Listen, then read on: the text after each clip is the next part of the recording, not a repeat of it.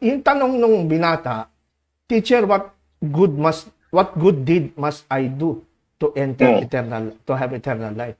Eternal life po. Ngayon, kumbaga sa Tagalog, guro, ano bang magun- mabuting bagay? Ano ba yung mabuting bagay na kailangan gawin ko para magkaroon ng eternal life? Okay? Ang point of view dito ng nagtanong kay Jesus, kumbaga parang itong binata, meron siyang ah, kakulangan sa kanyang ah, pagkaunawa sa way of salvation. May problema siya sa way of salvation kasi ang way of salvation niya is based on the Old Covenant law. Kasi nga, I believe that this is also, alam niya yung religion Judaism, at ang sistema ng Judaism, of course, is salvation by works, by keeping the Ten Commandments or keeping the law.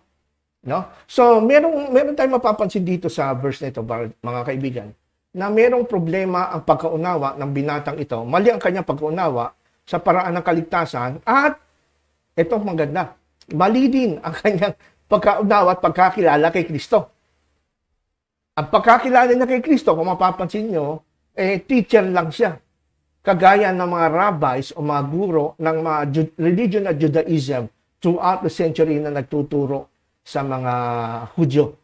So, kung parang ipinantay lang siya ang kanyang authority bilang teacher katulad ng mga religious teachers ng mga Jews na mga tao lang. Kaya ang, ang na-expect nitong binata na yung yung kanyang inquiry, yung kanyang tanong na ano bang dapat mong gawin para maligtas, nag-expect siya ng sagot na para siyang kakampihan ni Kristo. Kaya ang kumbaga, itong sagot ni Jesus Christ, ito po, no? If you would enter life, sabi Jesus, ito yung sagot niya, keep the commandment. Ganito nga ba talaga ang intention ni Jesus? Hanggang ngayon ba pwede natin gamitin itong ah, sagot ni Jesus sa ating panahon? yun nga, eh. yun yun eh. Well, ito nga po ang ating purpose ba't natin na tinawag itong Seventh-day Adventist Answered Verse Verse. Kasi po, based on context at background ng New Testament, eh hindi po ganon. Okay? Unang-una, yung tanong ng binata at ang way of salvation niya, mali. Eh bakit sinagot ni Jesus, if you enter life, keep the commandments. Ibig sabihin, nagkamali si Jesus. Hindi. Hindi nagkamali si Jesus dyan, uh, Brother Tot at mga kaibigan. Kasi, kaya sinabi ito itong Jesus, kasi nabasa niya na ang motibo nitong binata. Nabasa niya na ang puso ng binata na gusto niyang kilalanin siya na siya ay righteous kasi he claimed that he keep all the laws already. Sabi nga dun sa verse 20, di ba? Sabi sa verse 20, eh lahat ng yan eh, natupad ko na yan. Ano pa ba kulang? Yan. Kumbaga, itong binata, ang problema nitong uh, nagtanong kay Jesus, eh gusto niyang i-declare mismo ni Jesus. Siguro, yung mga naunang mga guro na napagtanungan niya, eh nagustuhan niya yung sagot. Kasi pinuri siya, well, that's good. You will have eternal life if you keep the commandments. Now, yung sagot ni Jesus dito, ah, kaya niya sinabi ito, hindi para purihin siya, kundi para ma-convict siya sa kanyang sarili na siya mismo ay ano, ay makasalanan. No? Kaya nga, kung nabasa niyo yung ating article, actually itong uh, ating uh, topic ngayon ay ito yung article po ng ating website. Diyan po makikita nyo na hindi po actually gustong sabihin ni Jesus, mga kaibigan naming Adventist, na para maligtas sa isundin mo sa utos. Hindi ho ganon. In fact, ang, ang motibo dito ni Jesus Christ ay para ipaalala, ma-prick o makonvict itong binata na hindi niya kayang i-perfect ang kautusan. Yan po ang ibig sabihin nito. Ang tanong ng mayamang binata kay Jesus ay nagpapakita ng kanyang kakulangan ng kaalaman tungkol sa tunay na pagkakailanlan ni Jesus at sa tamang paraan ng kaligtasan.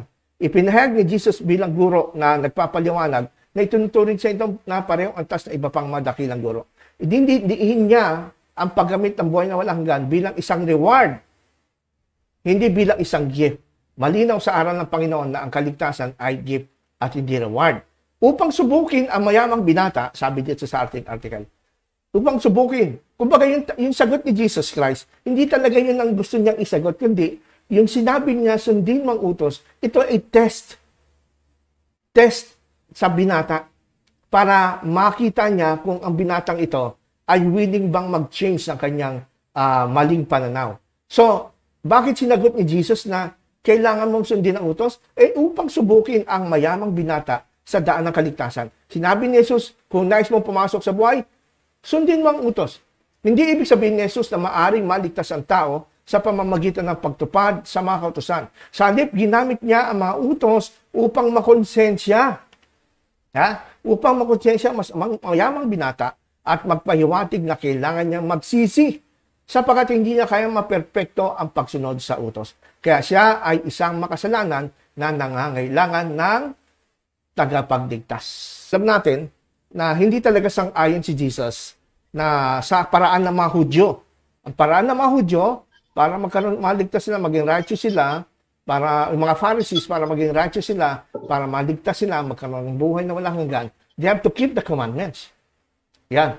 Pero, of course, kahit nga yung mga scholars ng Seventh-day Adventist, ang sabi ng Seventh-day Adventist Commentary, Volume 5, page 457, yung tanong ng what good thing, sabi ng SDA commentary to ha, the question reflects the typical pharisaical concept of righteousness by works.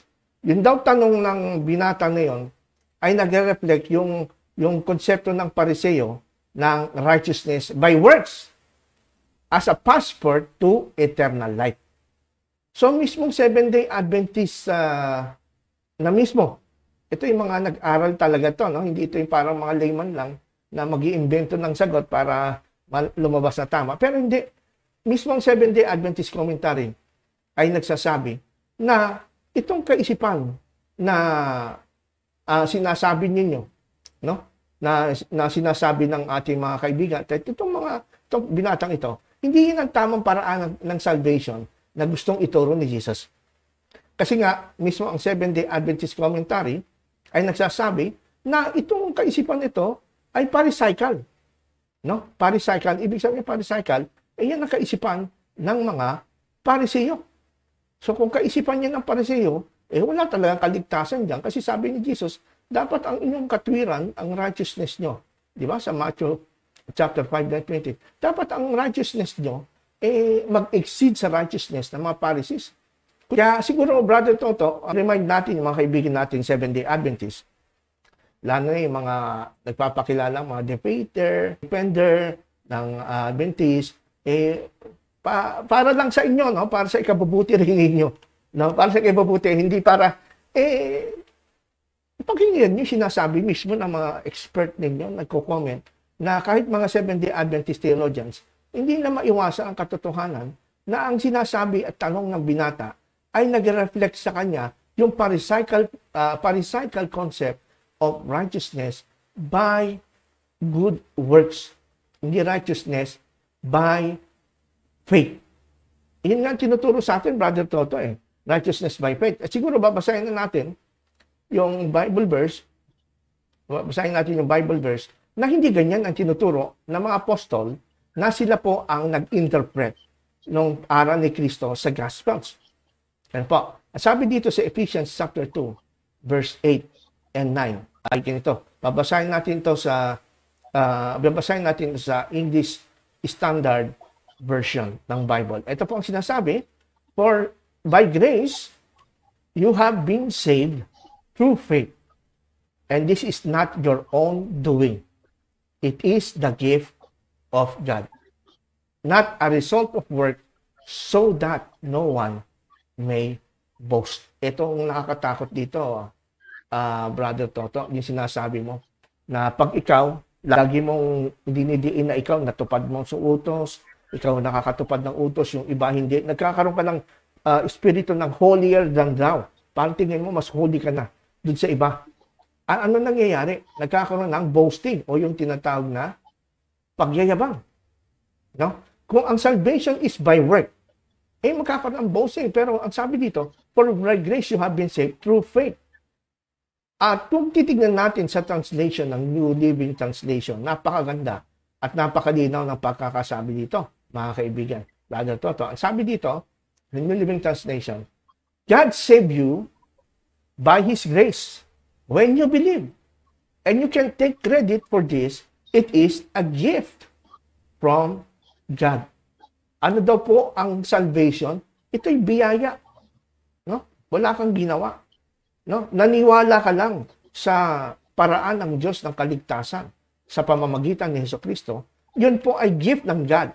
Sabi ng verse 9, salvation is not a reward for good things you have done, so none of us can boast about it.